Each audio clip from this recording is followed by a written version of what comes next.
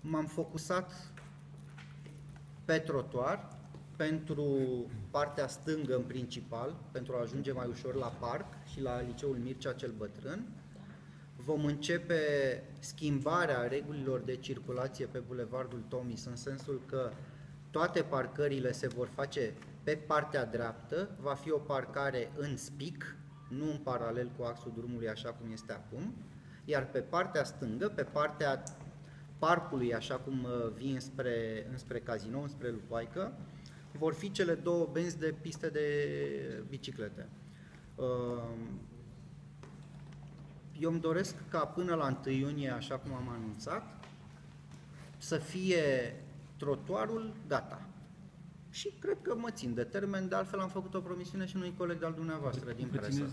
promisiunea că vă dați demisia dacă nu e gata? Da, dar după cum ați văzut mai avem un flintic. Nu cred că în luna mai nu reușim să facem un sfert din ce am făcut până acum.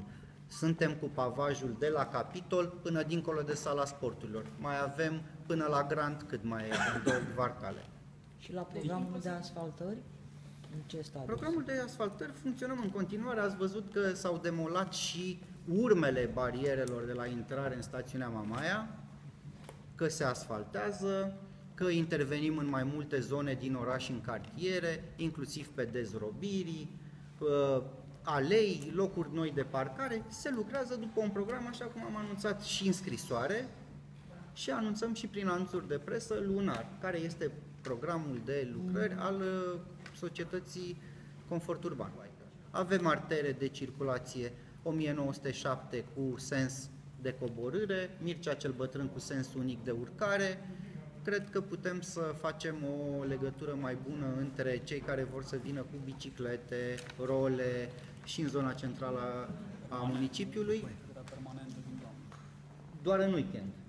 Doar în weekend. Nu, nu să închidem definitiv. Tot anul, nu în sezonul nu, estival nu. sau iarna sau cât, cât va fi vremea frumoasă. Nu cred că iarna vine cineva cu bicicleta sau cu rolele sau să facă patinaj pe bulevardul Scopul care este? Să meargă... Să încurajăm mișcarea, să le arătăm oamenilor că avem un parc și în zona centrală, că acest parc va intra într-un program de reabilitare, că ușor, ușor, parcurile și zonele adiacente uh, trebuie promovate și încurajat mersul pe jos, cu bicicleta, cu rolele,